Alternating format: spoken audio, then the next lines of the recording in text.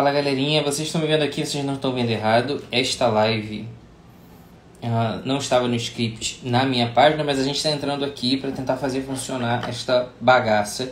Porque eu estava lá na página da Mamãe por Vocação e a coisa não estava rolando. O Instagram atualizou hoje, deve estar tá cheio de bug. Então eu vou chamar aqui a Mamãe por Vocação para a gente poder conversar sobre trabalho de parto. Tá? A live de hoje é sobre trabalho de parto. Convidado, tá? A página, eu estou utilizando a minha página para receber a dona da live. Vamos ver se vai dar certo aí. Deu? Foi? Deu glória não, a Deus. Não vamos nem se mexer. Gente, ninguém respira, pelo amor de Deus. Ai, gente, que loucura. É, o Instagram atualizou hoje, né? Então ele deve estar cheio de, de pequenos errinhos aí acontecendo ainda. Sim, deve ser isso. Bom, mas é isso, era sobre trabalho de parto, era para ser na minha página. E aí, para a gente conversar sobre esse assunto tão importante para nós, eu vou fazer de conta que eu estou na minha página, tá? Isso, manda ver. Me caça, sucaça. Então tá. Então eu queria, né, eu pensei em chamar o Dr. Felipe Duarte para falar sobre esse assunto que é tão importante para nós né? Mães, mulheres, é, a gente é muito mal informada, assim, né? No nosso país, a gente tem nenhuma informação, é bem difícil. É, eu lembro quando eu morava fora, eu consegui, né? É, oferecido mesmo pelo governo fazer um curso de preparação, eles chamam de curso de preparação para o nascimento e dura dois meses. A gente faz vários exercícios, faz exercícios de respiração. A enfermeira obstétrica explica tudo, como que vai ser e tal. Então a gente tem vários encontros e é muito legal. E aí, munida dessa informação toda, tudo isso que a gente né, vai, vai vivendo, vai aprendendo ali, ela vai contando de vários casos, tal, que ela acompanha, a gente chega um pouco mais mais preparada, assim, né? Um pouco menos, assim, perdida na hora do parto. E aí, com esse curso agora que eu tô né, oferecendo, que é uma mãe por vocação, eu pensei em chamar o doutor Felipe, que é médico e pode é, né, ajudar a gente a esclarecer várias dúvidas que a gente tem. Então, é uma honra para mim não tê-lo no meu canal, mas eu para falar isso. Que bom, que bom. Muito bem, Bruno, muito bem. Eu fico feliz é, até de poder ceder aqui o espaço, né, já que o Instagram não está rolando aí muita coisa hoje, e que a nossa conversa hoje possa, possa ajudar aí muitas mulheres a se sentirem um pouquinho mais seguras para esse momento, né, que é tão delicado. Uhum. Show de bola. A primeira pergunta que eu queria fazer era a seguinte. Não, que, primeiro, antes de fazer a pergunta, bom, todo mundo aqui já conhece, né? Doutor Felipe, não precisa fazer a então, a primeira pergunta era a seguinte: qual a importância né, da informação e do preparo quando chega o momento do parto? Faz diferença saber essas coisas ou não? Pois é, Bruna. É, quando a gente está falando de, de parto, né, a gente está tá lidando com uma situação que, é claro, quando a gente vai falar de parto, na verdade, nós vamos falar hoje da realidade do Brasil como um todo, porque a gente tem que aplicar isso para as diversas realidades.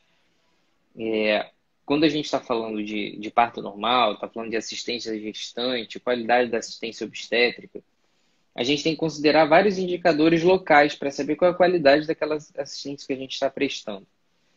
E uh, a gente vê nitidamente que os diferentes países tratam dessa questão de diferentes formas. E o Brasil ainda está muito aquém do que deveria fazer para que a gente possa, de fato, falar que nós uh, somos um, um um, um país desenvolvido no sentido de prestar uma assistência obstétrica adequada.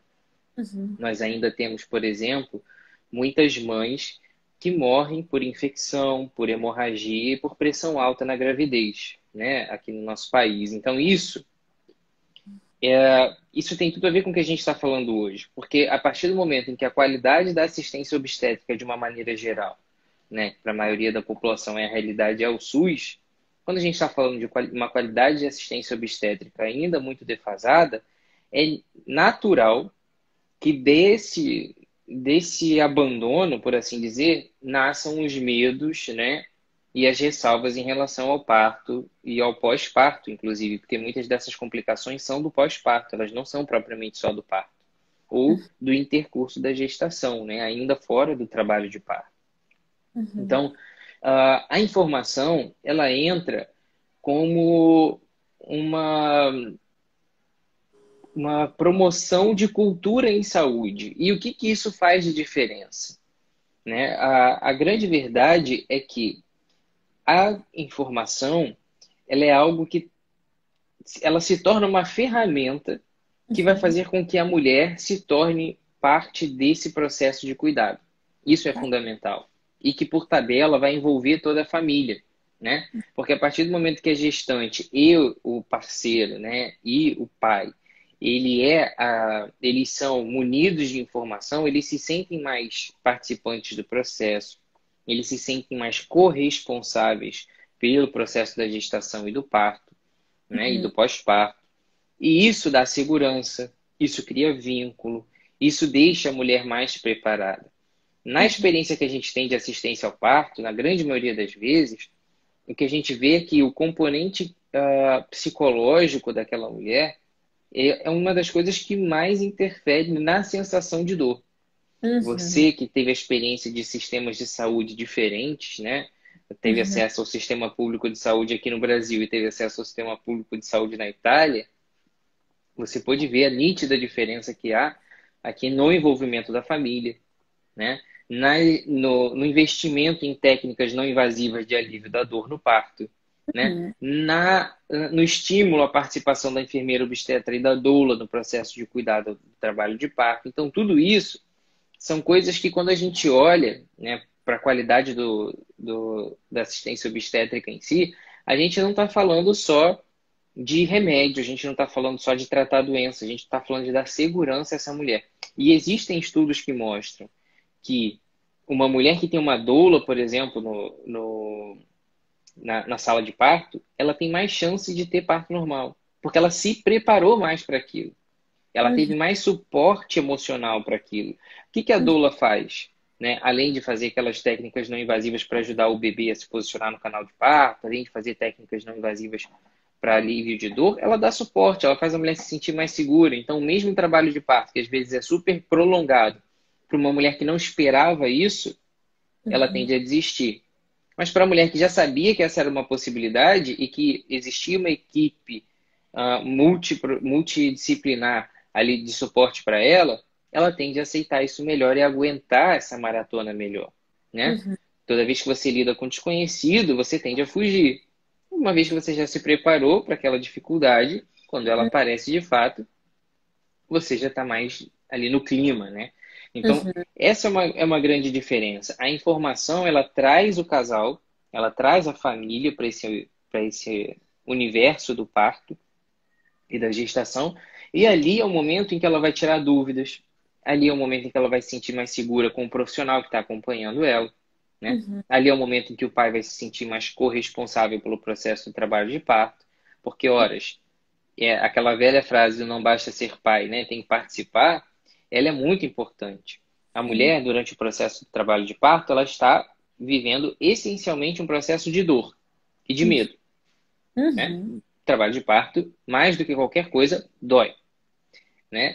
E mas e, em segundo plano, talvez, não porque seja menos importante, mas porque a dor ofusca quase que tudo isso. Mas em segundo plano, ela está vivendo o medo do que pode acontecer com o bebê. Né? A dor tira ela do eixo, muitas vezes, e além de tudo, ainda tem um reforço aí negativo desse medo do, do que vai acontecer com o bebê. E estar com um parceiro com o qual você pode contar a qualquer hora, isso faz toda a diferença. Então, quando você orienta esse parceiro de que a participação dele é muito importante, tem estudos que mostram isso também, que uma gestante que está com um acompanhante, né, devidamente preparado para dar suporte psicológico a essa mulher, ela tem mais chance, por exemplo, de ter o parto normal também. Então, isso tudo influencia. Parece que é bobagem, né? Ah, porque eu quero ter meu filho no hospital particular, que eu quero ter o meu filho num hospital com a melhor tecnologia do mundo. Cuidado. Isso não é o essencial. O percentual de parto normal hoje no SUS é muito maior do que no sistema privado de saúde. Então, uhum. a qualidade e a disposição né, de recursos tecnológicos para o parto não são sinônimo de aumento das taxas de parto normal. Uhum. Então, nós precisamos nos direcionar para esse outro lado, dos recursos humanos que estão envolvidos na qualidade da assistência obstétrica. Né? Eu trabalho eu convivo com essas duas realidades. Até bem pouco tempo atrás eu trabalhava, né, eu era plantonista da maternidade particular de referência aqui do Rio de Janeiro. Me desliguei do grupo agora há pouco tempo. E eu também era, eu também ainda sou, na verdade, agora, uh, plantonista da, de uma das maternidades com maior fluxo de parto normal, no, com o maior percentual, na verdade, de passagem de parto normal aqui do Rio de Janeiro. E são uhum. realidades totalmente opostas, uhum. né? De recursos e de percentual de parto normal. Então, assim, nós temos no Sistema Público de Saúde, onde eu sou plantonista, numa unidade de referência e humanização de parto aqui no Rio de Janeiro, todas as camas da sala de parto quebradas. E temos na, nessa maternidade onde eu trabalhava até bem pouco tempo atrás, todos os recursos tecnológicos e de acolhimento, céuzinho estrelado no quarto da sala de parto e banheira. E no sistema público de saúde, se eu não me engano, nós temos nessa maternidade onde eu trabalho, eu não tenho, eu não tenho certeza agora do percentual de parto normal. Nós discutimos isso agora há pouquíssimo tempo, nós, mas nós tínhamos um, um percentual altíssimo de parto normal nessa maternidade, com todas as camas de parto quebradas, sem nenhuma banheira, muitas vezes sem água quente, porque não tem. Sem água quente, né? É, né? É. Você experimentou isso. e nessa outra maternidade particular, com todos os recursos possíveis e imagináveis, UTI neonatal de ponta, nós temos, sei lá, 90% cesariana. Então não é isso que está determinando a chance dessa mulher ter parto normal. E muitas vezes essa mulher procura o recurso tecnológico e esquece de se preparar para o parto desse suporte multidisciplinar que vem muitas vezes na forma de um conhecimento consistente. Né? Uhum. Coisas simples, no sentido de uma conversa com o obstetra de se o bebê eliminou mecônio durante o trabalho de parto, isso não quer dizer que tenha que ser cesariana. Vamos fazer o exame do coração do bebê. Então, é, se você conversa isso com ela e uhum. prepara ela para isso, quando isso acontece no parto, ela não desestabiliza, porque ela já retoma essa informação da cabeça. Quando é. se você deixa a coisa fluir e quando você lida com o inesperado na hora do parto, a mulher que já está com dor e com medo, ela tem que tomar essa atitude de saber assim, o que, que eu vou fazer agora? Ela uhum. inevitavelmente ela vai correr para a cesariana, que é o mais imediato. é a vida do, do filho, né? Eu acho que assim, ela já correria de qualquer forma, porque eu, todos os partos, eu pedi cesariana para todo mundo. Exatamente. E teve a minha segunda filha, eu encontrei com meu pai. Gente, pai, cara, eu olhei pro meu pai e comecei a chorar. Eu falei, pai, eu não vou aguentar. E ele, não, minha filha, calma, Deus tá cuidando, vai dar tudo certo. Então, assim, ó, é, eu pude não só aprender, né, quando a gente morava fora, mas o Pedro, né, meu marido, foi também participou de muitas dessas aulas, tá? Os pais são chamados, eles falam, né? Traga na aula tal, você vem com quem vai te acompanhar no parto, porque essa pessoa vai precisar aprender. Na, ou, por exemplo, a aula de amamentação. Traga quem vai te acompanhar na amamentação, porque essa pessoa vai precisar estar aqui para aprender, para na hora que der questão na amamentação, você vai ter esse apoio. E faz muita diferença, sem dúvida, assim, do lado de contando do lado de cá, né? É, eu sempre brinco que se o Pedro não for comigo no parto, eu também não vou. Porque é ele que me apoia, é ele que caminha comigo, é ele que me dá suporte, é ele que fica ali, faz massagem. Ele é a ponte entre mim e a equipe, porque muitas vezes eu tô, eu fico muito introspectiva eu fico muito comigo e aí eu não nem quero muito conversar e ele fala, ó, agora é isso, agora é aquilo, agora vamos, né, vamos, é, aonde é que tem o chuveiro, aonde é que tem a bola? Muitas vezes a gente tem que no sistema né, público, muitas vezes a gente tem que dar uma se virar um pouco assim, né? Ir fazendo. Então, assim, ter uma pessoa bem informada, né? Como um marido bem informado ou uma doula, alguém que possa te orientar, que possa te ajudar eu acho que isso vai fazer diferença. Que legal saber dessas estatísticas, eu não sabia, fiquei bem. É assim, para mim é, é, bem claro, né? Assim, é bem. É, eu, tenho, eu tenho muito orgulho de fazer parte, inclusive, do trabalho dessa maternidade, onde nós resistimos o tempo todo, né? Porque é o que eu te falei, todas as camas de parto são quebradas, e eu digo quebrada não é a mesa que não levanta, não. É quebrada pela metade. A mulher pare na metade da cama, né? Hum. Não é uma cama inteira. Muitas vezes a mulher quer uma água quente e não tem, ou tem que esperar encher o reservatório da água quente para subir. Vira e mexe, a gente chega no, na sala de parto, o ar-condicionado está quebrado, naquele calor desumano do Rio de Janeiro. E ainda assim, se eu não me engano, tá? Eu posso até olhar aqui depois e te dizer isso por curiosidade, mas se eu não me engano, a gente chega a 60% de parto normal. É algo, é algo muito expressivo para a realidade de parto normal hoje no Rio de Janeiro. Uhum, né? É, acho que é em torno disso, 40 e poucos por cento de cesariano no máximo, flutuando ao longo do ano. Mas é um então, lugar assim, de parto de risco também, por isso que o índice de cesariano também, né? Sim, com certeza. E veja que a gente, ainda com todos esses fatores, a gente consegue ter um, um percentual de parto normal maravilhoso para a realidade de Brasil, né? Uhum. Que é, o percentual de cesariana ainda é elevadíssimo. Nós somos campeões no mundo. A gente só perde para um país, se eu não me engano. A gente perde, se eu não me engano, a gente só perde para a República Dominicana. Nós somos ser... o segundo lugar no mundo em cesariana. Nossa. Mas é porque eu acho, sabe o quê? Virou uma coisa meio da nossa cultura, né? Quem que a gente conhece, as mulheres, assim, quem que você conhece que fez, que teve um parto normal? As histórias muitas vezes são muito uhum. tristes, tá? Porque a cunhada da amiga da filha da minha vizinha Sim. Teve que levar um monte de ponto e a moça uhum. não anda mais, e foi forceps, e foi não sei o que, é uma é. Mas assim, ó, é, assim, falando por um outro lado, né? A gente teve é, aí no Rio, eu tive uma filha no Rio de Janeiro, não foi nessa maternidade, foi em outra, também ali na, na, na Barra da Tijuca, também não, né? Na Barra da Tijuca, daí mais pública. E aí o que acontece?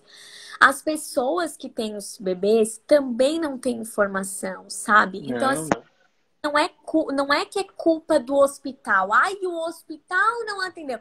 Ai, porque maternidade... Gente, a pessoa às vezes fica com a bolsa rompida por dois, três dias.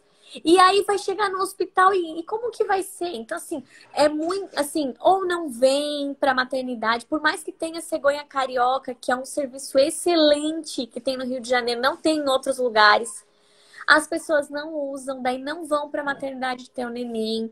Enfim, tem vários erros aí durante a gestação. É, um, é, um, é, um, é complicado também, né? Sim. Assim, então, muitas vezes as pessoas querem botar toda. É claro que o sistema tem muita falha. Eu fui alvo do, do banho frio na maternidade. Viu? E a bebê recém-nascida também foi alvo do banho frio na maternidade. Assim, praticamente de morno para frio, tá? Uhum. E Sim, é muito ruim, mas eu não jogo a culpa inteira.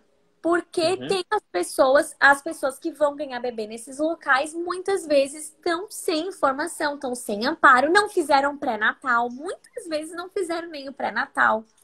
Então é complicado, né? A gente está tá, tá uma situação no nosso país que é bem dura, né?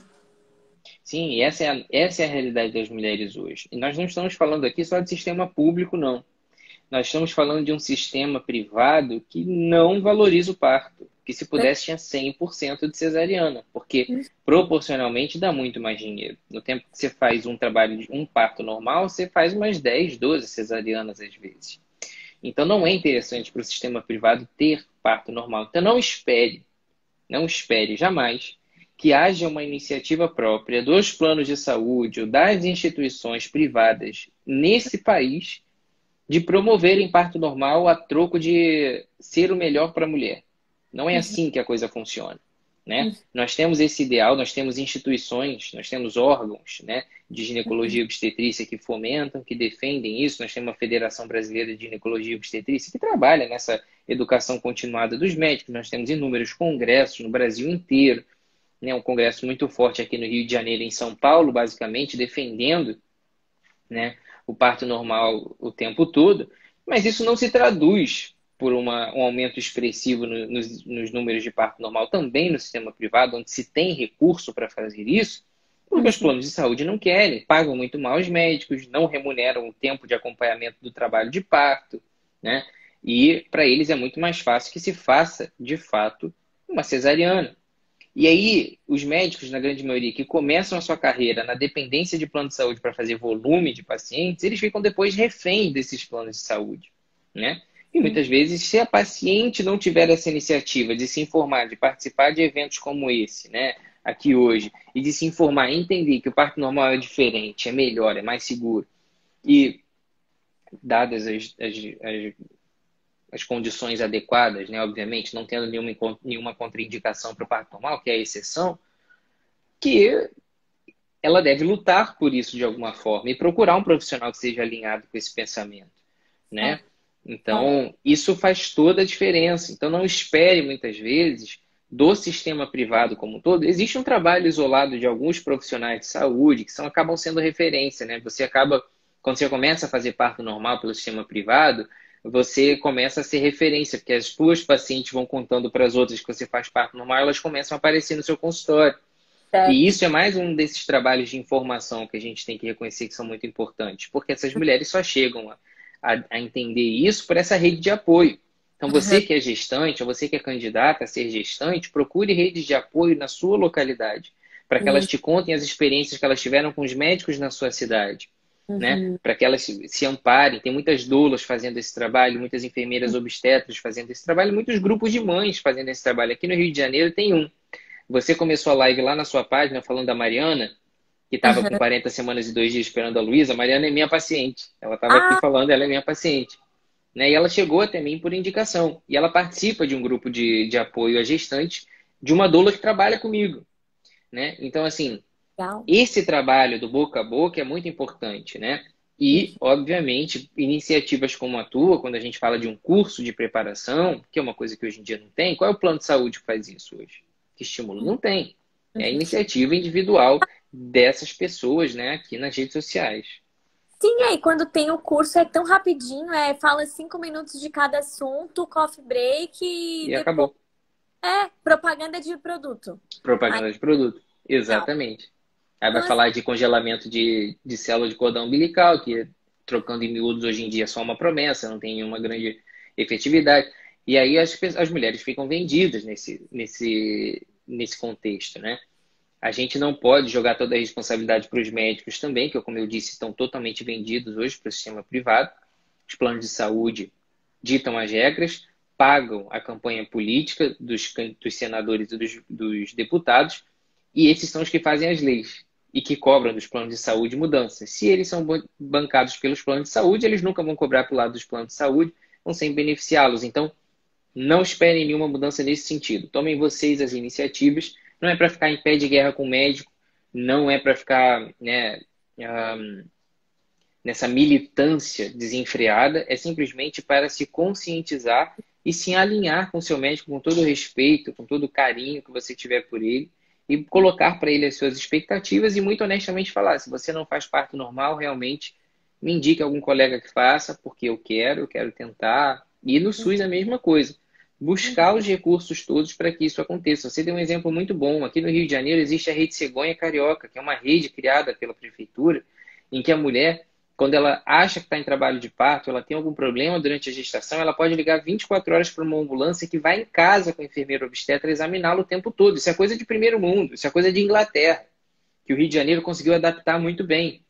E uhum. a grande maioria das pessoas que chegam com queixas bobas ou alarmes falsos de trabalho de parto na maternidade hoje, no, no SUS, onde eu trabalho, eu pergunto a ela: você chamou a cegonha? Ela, como é que faz isso? Então, assim, veja que não é um problema só da estrutura do SUS, porque tem isso, mas a gestante não sabe. Então, é a comunicação, é a informação Exato. que está faltando.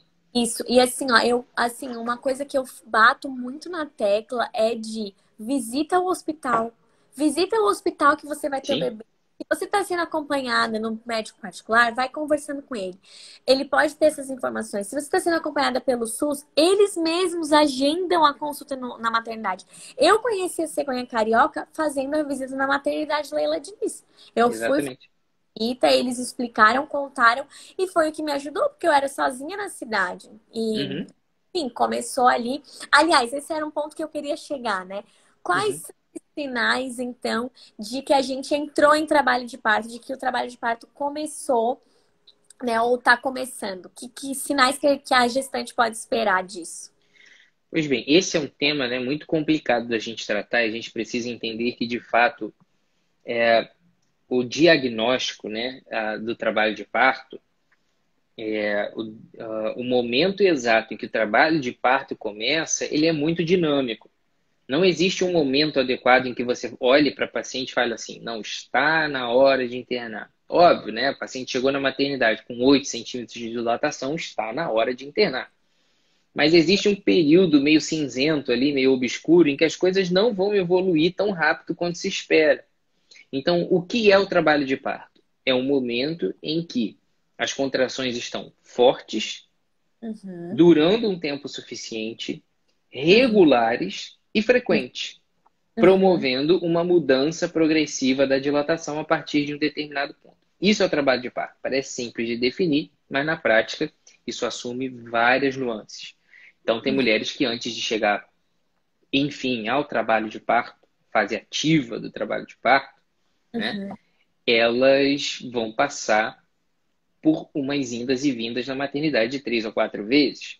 Porque uhum. no meio disso tudo existe um componente que não dá para se medir, que é a uhum. dor, que é individual. Né? Então, uhum. quando você chega para o seu médico, ou quando você chega num hospital, numa emergência, seja pública ou privada, e o teu médico te examina para saber se está na hora ou não do trabalho de parto, na grande maioria das vezes ele vai pedir para te reavaliar mais uma vez. E isso é normal. Não entenda isso né, como uma coisa assim, ah, meu, o médico está me enrolando. Não é. Porque uhum. o que acontece? O corpo, né, o útero da mulher, ele vai responder a uma série de mensagens hormonais, né?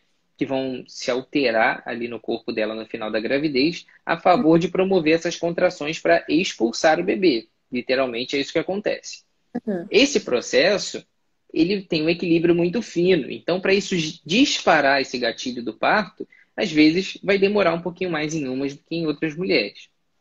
Então, veja que aquela, aquela aquela máxima, né? Que se tinha ah, 4 ou 5 centímetros é o, é o momento de internar, isso meio que caiu por terra, né? O que a gente sabe de fato é que qual é o momento de internar? Quando você tem contrações regulares e o trabalho de parto em geral, ele começa não antes né, de contrações a cada cinco minutos, pelo menos, uhum. que duram, em média, pelo menos 40 segundos, né? Uhum. E com uma intensidade realmente razoável. Então, só que tem mulheres que chegam na maternidade estão com contrações de 5 em 5, 3 em 3, 4 em 4 minutos, mas que estão com 2 centímetros de dilatação. Isso é trabalho de parto? Talvez. A gente vai precisar olhar ao longo do tempo. Então, reavaliar essa mulher em uma, duas horas. Né? Uhum. Então, ela vai ter que dar uma caminhada lá fora, comer um lanche. Ou ela vai voltar para casa, tomar um banho morno e dali duas horas voltar para o hospital. Isso é muito possível, é muito comum. Porque Sim. existe uma coisa né, que pode acontecer, muito comum entre as mulheres, todo mundo que já passou por gestação aqui deve lembrar bem dessa palavrinha odiosa, que são os pródromos de trabalho de parto.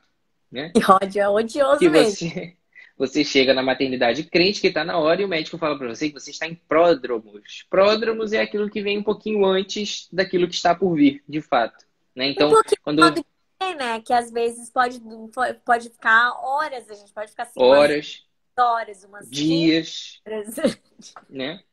Então, assim, eu vou contar uma historinha aqui que uh, diz muito sobre esse momento. Eu estava com uma paciente que ela, desde 35 semanas, ela tinha contrações de treinamento mais intensas. As contrações de treinamento, ela já vem desde 28 semanas, elas já podem aparecer. É aquela sensação de barriga dura com um pouquinho de dor, ou dor sem ter a barriga dura. Aquelas coisas ali que vai e vem de vez em quando, aquela dorzinha leve, aquela cólicazinha leve que passa e que você sente e que depois, horas depois ela vem, ou dias depois ela aparece. Essa minha paciente, ela estava com contrações de treinamento desde essa fase, né? E uh, quando ela, ela passou por isso, ela estava já, desde 35 semanas, ela estava nesse processo, né? Uhum. E aí, com as... Uh, quando ela chegou às 35 semanas, essas contrações se intensificaram. E aí ela chegou nesse ponto e ela começou a falar assim para mim: é, Doutor Felipe, tô achando que vai vir essa semana, não sei não, tô preocupado que tá prematuro. Eu falei, calma, ainda não chegou na hora, porque toda hora vem de madrugada e depois passa, etc, etc. Tá. Aí, na semana seguinte, 36. Ó, agora começou a apertar, mas eu nem te liguei porque depois parou. Beleza. Aí eu acho que agora com 37 vem. Deu 37 não vê. Quando chegou a 38 semanas, ela começou a ter contração de madrugada o tempo inteiro. E aí eu uhum. falei para ela na última consulta, eu falei, olha, você está tendo várias noites de contração de treinamento. É possível? E você já teve um filho de parto normal. Uhum. E o parto normal anterior dela tinha durado 12 horas. Eu falei, olha, no segundo tende a ser mais rápido. E como você está tendo várias contrações de treinamento, pode ser que isso aperte antes da hora. E é bom você uh, quando começar a ter essas contrações, já ficar mais de olho para a hora de você ir para o hospital, que tende a ser mais rapidinho, porque o seu colo já deve estar mais preparado. E aí, na quarta-feira de madrugada, agora ela começou a ter mais contração. Como ela teve vários alarmes falsos, ela achou que aquela dor estava normal e que o parto ainda ia demorar. Qual foi o resultado? Às 5h50 da manhã ela me ligou, estava saindo, eu estava no finalzinho do meu plantão, né? Na verdade, no Maria Amélia. Ih, falei o nome da maternidade de trabalho. eu estava saindo do plantão na maternidade onde eu trabalho. E aí, ela, o marido dela me ligou, falou que ela estava com um pouco de dor. Eu falei, tá ótimo, eu tô saindo do meu plantão daqui a pouquinho. Se vocês forem para a maternidade, me avisa que eu dou um jeito. E não ligou. Quando deu. E aí eu saí do plantão fui para casa, antes de eu ir para o consultório. Quando deu oito e pouca, a doula me ligou. Olha, eu estou chegando aqui na casa dela, que ela começou a ter contrações mais fortes, mas o bebê já nasceu. Eu falei, oi? Nasceu em casa? E aí aconteceu.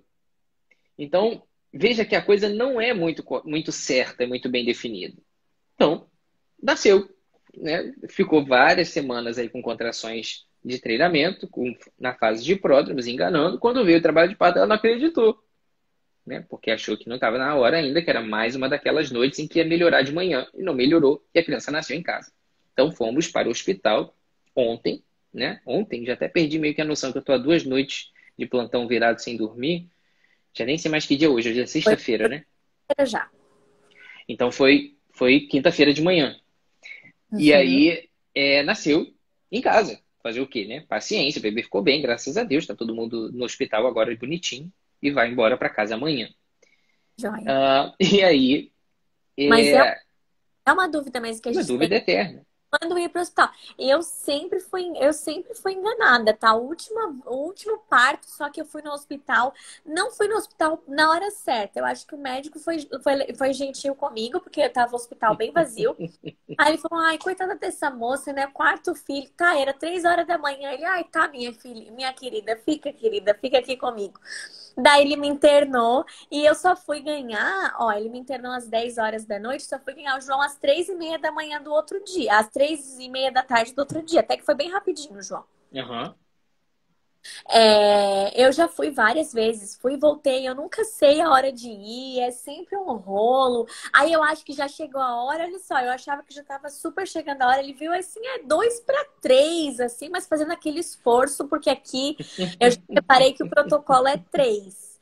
Então, geralmente com três eles dão essa chance. É. Mas... É a mesma coisa, isso varia muito, porque mulheres que já tiveram filho de parto normal, às vezes chegam a 3 centímetros de dilatação sem contração quase. E vão é. ficar com esses 3, 4 centímetros até o final, em casa, aí algumas semanas. Enquanto mulheres que não tiveram filhos, às vezes chegam com contração forte, intensa pra caramba, que você tá vendo que não vai parar e que ela naturalmente vai evoluir para o trabalho de parto com 2 centímetros. Então, não há um momento certo, né? Mas uh, se existe um melhor momento para ir ao hospital, é quando você vê que a coisa engatou. Né? Tá. Então, eu, eu geralmente falo para as pacientes: olha, o momento adequado de você ir ao hospital, pelo menos para ser avaliada, mas que não necessariamente você vai ser internada, é quando você começa a ter contração, pelo menos de 5 em 5 minutos, por uma, duas horas sem parar, porque a chance disso se perpetuar é grande. Né? Certo, legal. Tá, e quais são as etapas do trabalho de parto? É tudo a mesma coisa? Fica tendo essa contração nessa, nessa, nesse intervalo ou muda? Como é que seria isso aí? Isso é uma outra grande questão que tem tudo a ver com a pergunta anterior, né? Ah. Porque nós temos o pródromo, que é aquela fase do vai não vai. Nós temos uma outra fase, que é a mais chata de todas, essa realmente é perturbadora, e muitas mulheres passam por ela sem perceber, que é a fase latente. É aquela fase Mulher que passa por essa fase sem perceber, gente, por favor, é, olha. É não, ela acha que ela já está em trabalho de parto, na verdade. Ela não é que ela não percebeu porque ela, ela tá achando que tá de boa. Ela tá achando que tá muito ruim, mas ainda não chegou lá. Fico né? mais controlada.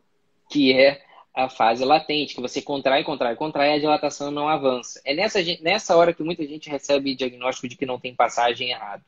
Né? Que é aqueles 2, 3, 4 centímetros que não evoluem nunca, mas que vão evoluir em algum momento. Não existe não ter passagem com a dilatação tão pequena assim, né? Uhum.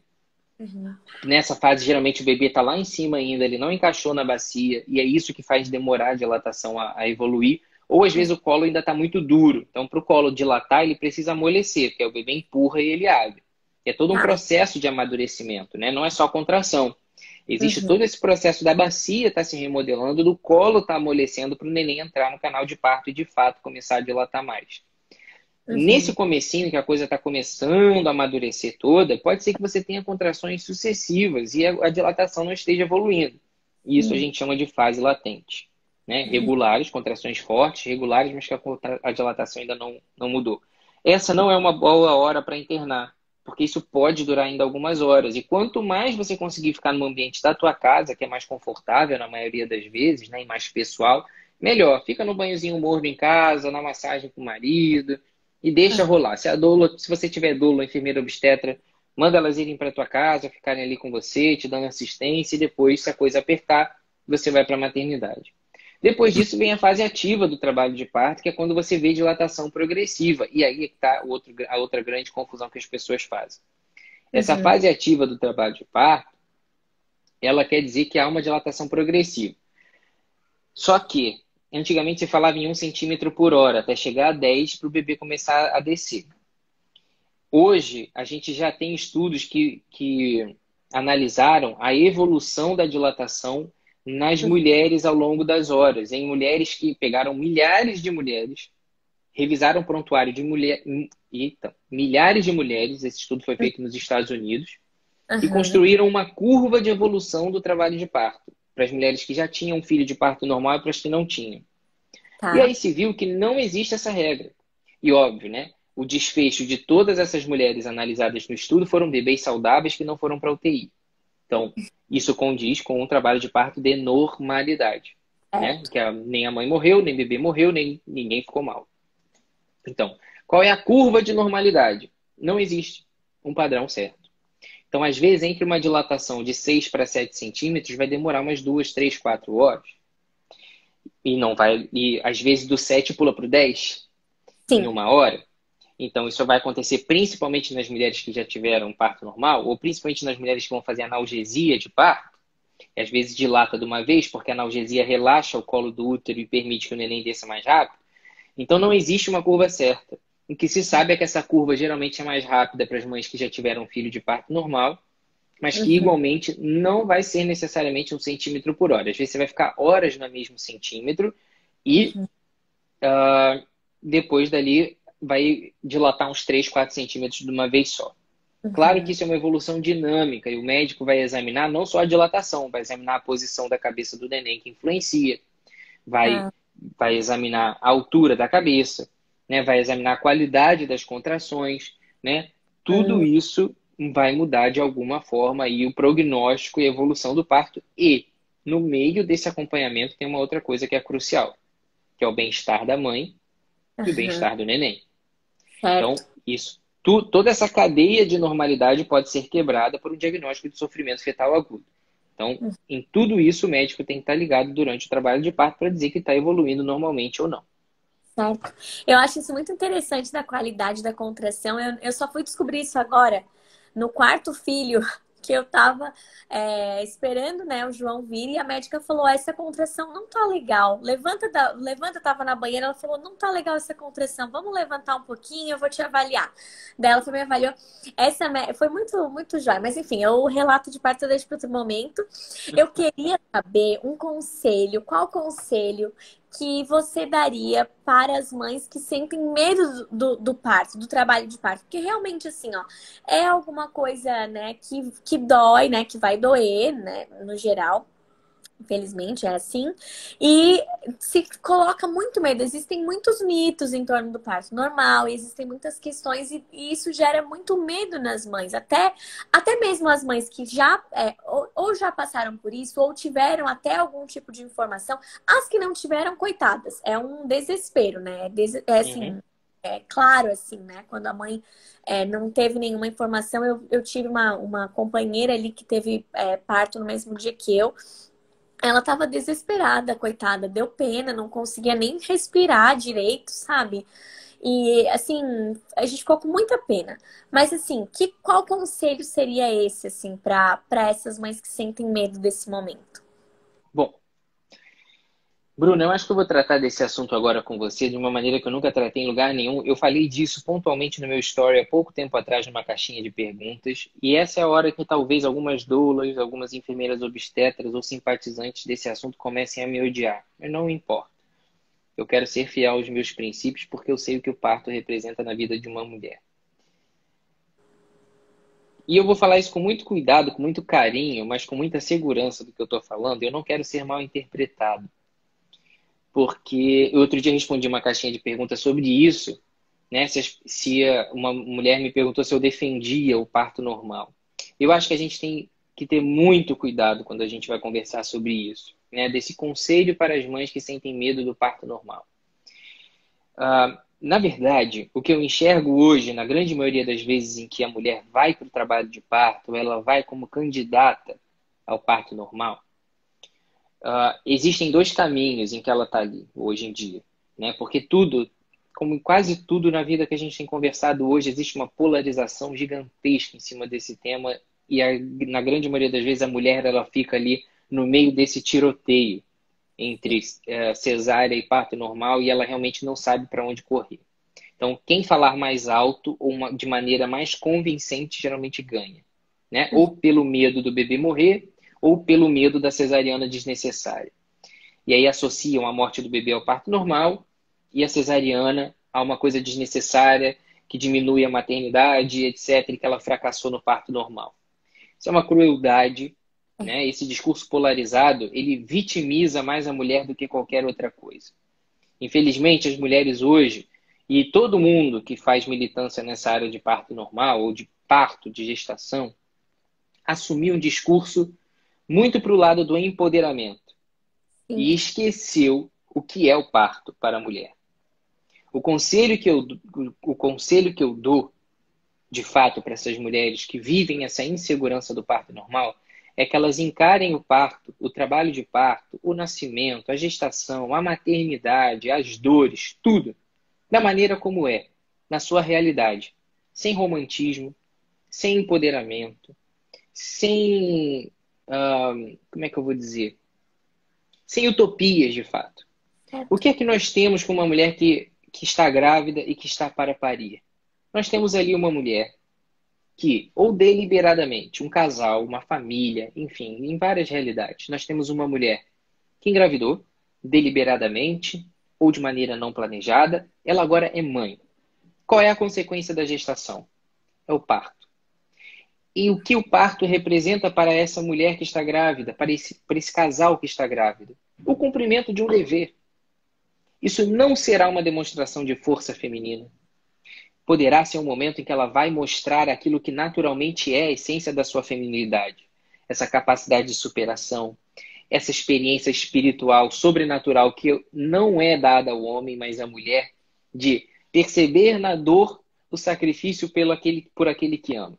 Isso é, obviamente, um momento único né, em que a mulher pode se realizar espiritualmente no sacrifício de uma maneira muito peculiar, em que ela carrega uma cruz de uma maneira muito, muito na carne, né, uhum. em que o homem não vai experimentar isso, né, não vai experimentar isso, e isso é único para a mulher. Isso tem que ser de fato exaltado, mas isso não pode ser romantizado. Porque Sim. essas mulheres que estão entrando em trabalho de parto e parindo os seus bebês, elas não estão vencendo a sociedade. Elas não estão resistindo ao sistema. Elas estão cumprindo o seu dever de ser mãe. E os pais que são acompanhantes dessas mulheres e dão apoio, dão suporte e fazem essas mulheres parirem.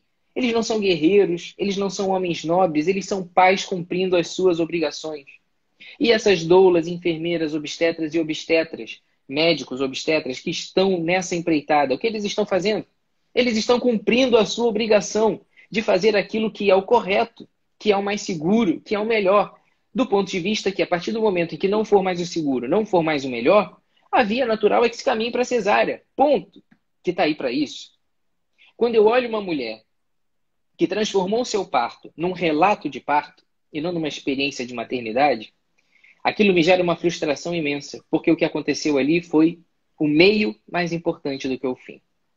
Não por acaso, eu já experimentei em várias, vários momentos da minha vida esse momento que para mim é único. Uhum. A vida que nasce uhum. é o uhum. céu que se abre e nos dá uma nova oportunidade de salvação. Aquela vida que está começando ali pode ser o, o futuro Papa, pode ser o futuro presidente do Brasil, pode ser o futuro presidente dos Estados Unidos, pode ser o cara que vai descobrir a cura do câncer, a cura da AIDS, podem ser grandes homens e mulheres que vão mudar o rumo da, do mundo. E ali, né, em cada uma dessas vidas, nasce uma nova oportunidade. E é uma mãe que se derramou, que viveu essa dor, esse sacrifício, essa renúncia de si mesmo em nome da vida, que é o oposto dessa cultura da morte que nós estamos vendo. Cada nascimento que acontece é um não ao aborto. Então, para mim, é isso que está acontecendo ali. Uhum. E me, me entristece muito quando, depois de todo esse caminho que essas mulheres estão seguindo, uma frase extremamente egoísta, que é a frase eu consegui. Essa frase me dá uma tristeza profunda de olhar para aquela mulher que de fato, ela não está fazendo isso por mal, mas ela foi enganada sobre qual era o objetivo daquele parto normal. É claro que muitas vezes essa frase ela vem de, um, de uma realização de uhum. ter passado por algum momento crítico no parto, em que ela pensou uhum. em desistir, mas não desistiu, e ela se superou e conseguiu. Beleza. Uhum. Esse é um momento também da mulher perceber a força interna que ela tem de compreensão da dor como algo sobrenatural e não como uma perda de tempo. Né? Que uhum. na grande maioria das vezes, para o homem, acontece isso. Tanto, vezes, tanto é que muitas vezes o homem pede cesárea direto para a mulher, né? que é uma, uma, uma loucura, assim. E quando a gente olha uma mulher que passou pelo trabalho de parto, tá com seu filho no braço e ela olha para cima e ela fala, eu consegui, ela esqueceu qual era a obrigação dela, que era trazer o filho ao mundo. Sim. Quando, se o parto é normal, se o parto é cesárea, pelos motivos que tiveram que ser ou que não tiveram que ser, não interessa. O que interessa é que essa mulher está com a sua vida ali nos braços, com o sentido da sua renúncia nos braços. E a beleza daquele momento não está em vencer o sistema, não está em conseguir, em superar todos os limites. E, uhum. beleza, minha amiga, você conseguiu. Mas você estava cumprindo a sua obrigação de ser mãe. Uhum. Não tem uhum. nada mais lindo e mais maravilhoso nisso. Mas é isso. Uhum. Então, essas mulheres, quando elas vão encarar esse momento do parto, elas têm que encarar com muita serenidade, muita dignidade, pé no chão, de que você não está indo para uma empreitada, de que você vai vencer o sistema, de que você vai vencer o seu obstetra que vai fazer violência em você, que você vai viver, vencer o sistema público, que você vai vencer o sistema privado, que você vai superar todas as dificuldades para você mostrar a mulher grande que você é. Não. Você está indo se derramar pelo teu filho. E hum. esse é o teu objetivo. Quando hum. você vai com essa pegada, quando você hum. vai com esse entendimento de que é quando me sinto fraco que eu sou forte, né? Hum. É quando eu assumo a minha cruz, renuncio a mim mesmo, que eu encontro o sentido da minha vida e que mais uma vez eu vou passar por isso também no parto, o nascimento se torna uma coisa natural e consequência de uma maternidade abnegada. Verdade. Então, esses medos se dissipam. Uhum. A informação ela vem para te dar a ferramenta. Certo. Mas a consciência da sua maternidade, da responsabilidade que você tem com aquela criança, mais uhum. do que consigo mesma, uhum. é que te uhum. dissipa todos os medos. É, é a mesma coisa que a gente fala, né? Do falar em público. Né? Por que, que as pessoas têm tanto medo de falar em público? Porque elas estão preocupadas demais consigo mesmo. O que, que vão achar do que eu falei, meu amigo? Ninguém está nem aí para você. A informação que você vai passar é muito mais preciosa do que aquilo, do que a sua postura, do que a sua fala. Eu fico muito feliz de ver a Dola que trabalha comigo aqui respondendo. Que live linda, porque é isso. Né? Ela trabalha muito, a Roberta que está aqui, a Roberta trabalha muito com, com essa, essa questão da, da. Ai, me fugiu agora. De Santa Teresa d'Ávila. Né? Dessa, de viver essa via como uma própria via mesmo de superação e de santificação. Né? Uh, e veja, o foco não está em você. O foco não está em você. Porque uhum. viver a experiência do parto é uma experiência de amor. E amar, como tudo na vida, todas as formas de amor, elas não se encerram em si mesmas. Elas são um movimento para o próximo. Não Exato. existe amor próprio. Não existe amor próprio. Né? Amor próprio nada mais é do que um cuidado consigo mesmo. Né? Aqui a mãe da Prole está falando. Ó. E isso é que é a Dola que trabalha comigo também, uma das Dolas que trabalha comigo. Querida. Eu fico muito feliz de poder estar trabalhando, estar dividindo essa experiência com ela, porque, minhas amigas, não se importem tanto com vocês. Pense nos filhos. Quando você tem um sentido, É. o sacrifício assume. Vou te dizer, vou fazer uma comparação muito boa aqui, que Vitor Frankl fez. Né? Vitor Frankl foi um dos. Ele cunhou a logoterapia. Né? Eu, eu não sou especialista na área, mas há pouco tempo eu fiz uma live sobre sexualidade e transcendência, em que a Uhum. gente abordou essa, essa visão de Vitor Frankl. Vitor Frankl foi ah, um psiquiatra judeu que viveu a Uhum. realidade dos campos de concentração. Sim, Que mulheres que sofreram muito mais do que gestantes, vamos combinar, sim. né? Muito E aí mais. ele olhava para essas pessoas sofrendo e ele começava a perceber, ele podia ter fugido, mas ele não quis. Ele quis ficar com a sua família e ele foi capturado. E viveu essa realidade dos campos de concentração. E ele começou a perceber que algumas pessoas viviam uma grande dificuldade uma- e uma- um grande sofrimento físico e se matavam. E desistiam da própria vida, Uhum. né? sucumbiam. Enquanto outras pessoas não. Sim. E o que, que fazia essas pessoas persistirem em serem mais fortes? Uma palavrinha: sentido. Sim. Da mesma forma que essas pessoas sobreviveram aos campos de concentração porque sabiam que lá fora existia alguém pelas quais, pela qual valia a pena suportar a dor, Uhum. no parto é a mesma coisa. Se Sim. o foco está em você, quando você se sentir cansada, você vai desistir. Exato. Mas se o foco está no seu filho, o seu cansaço já não importa mais. Uhum. E da mesma forma, quando o parto normal não estiver evoluindo bem e o seu filho estiver em risco ou você estiver em risco, você vai renunciar ao parto normal e vai para cesariana sem Sim. se sentir menos mãe por isso. Ponto final. Porque Pelo- o foco não é você. Pelo contrário, sentindo assim, poxa, eu fiz tudo que estava ao meu alcance pelo meu Perfeito. né? Esse é, esse é Perfeito. um ponto. Realmente é muito, muito, muito preciosa essa reflexão, muito, muito importante, mas eu acho que é, é esse o ponto, né? O medo vem muitas vezes por isso, né? Pelo, por esses motivos errados, essas motivações erradas mesmo. É, uma, das, uma das minhas preocupações, né?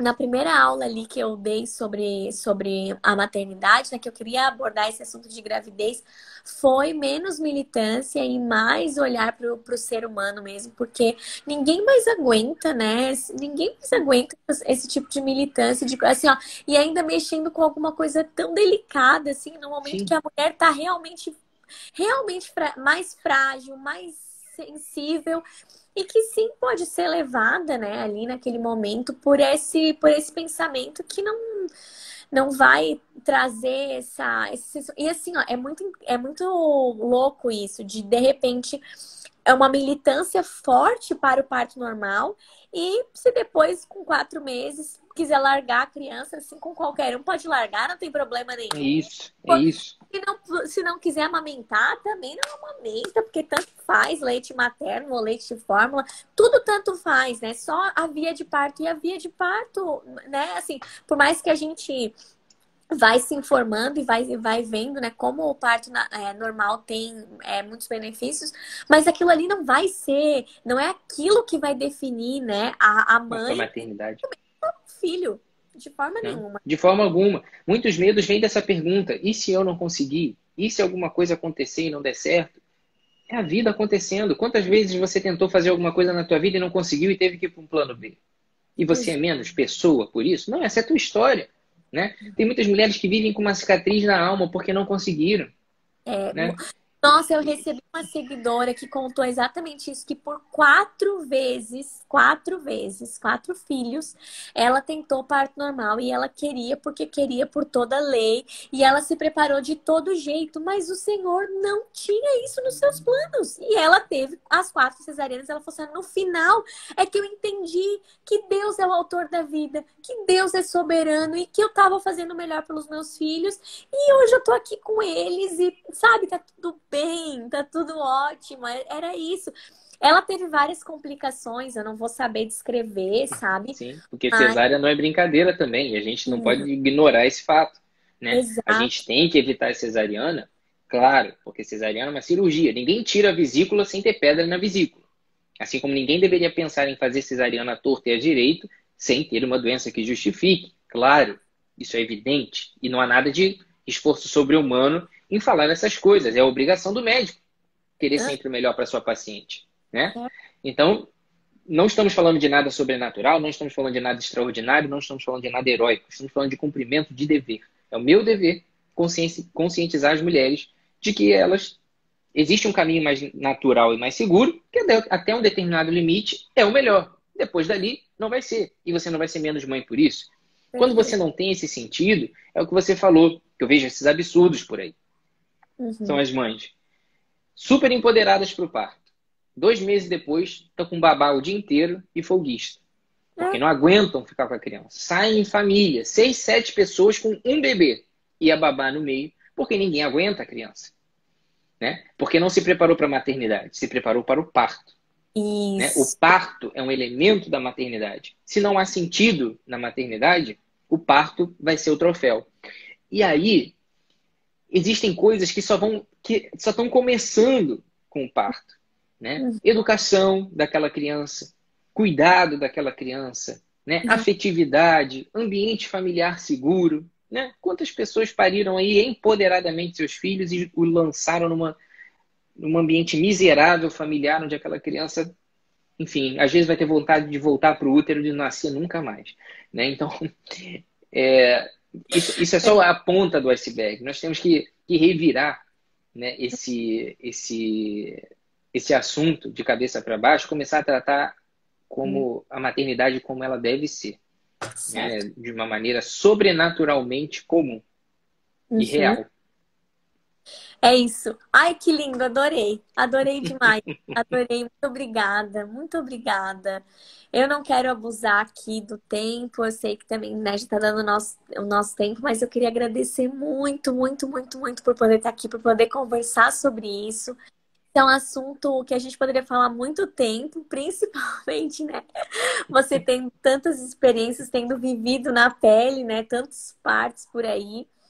Mas queria agradecer, dizer para é, para todas as mulheres que estão aqui com a gente, né? Não assim, não se, né, tirarem o melhor proveito desse, dessa nossa live, dessa nossa conversa, que possam estar tá se informando, estar tá buscando mesmo mais informação, saber mais sobre isso, é, fugir dessa militância, né, que não, não vai, a gente já viu que não vai resultar, né, não vai trazer bons resultados, abraçar mesmo a maternidade como um chamado, como uma, uma vocação que ela é, né? Assistam lá a minha primeira aula, que tá bem legal sobre, foi sobre isso, sobre chamado. Boa. Doutor Felipe, muito obrigada mais uma vez. Sua agenda Eu que agradeço. Cheia, cheia. Todo mundo precisa de você. Você deixou esse tempinho aí para mim. Obrigada demais, tá? Imagina, a gente sempre tem um lugarzinho para os amigos. Obrigada. Então tá jóia, gente. Valeu, a gente se encontra aí por aí pelas redes. Isso, com certeza. Acho que eu tenho que encerrar, né? Porque eu, eu, eu é. tô aqui na página, mas eu vou encerrar, vou botar no IGTV e você puxa para você. Jóia, tá bom? Muito, muito obrigada, gente. Tchau, tchau. Tchau, tchau, galera.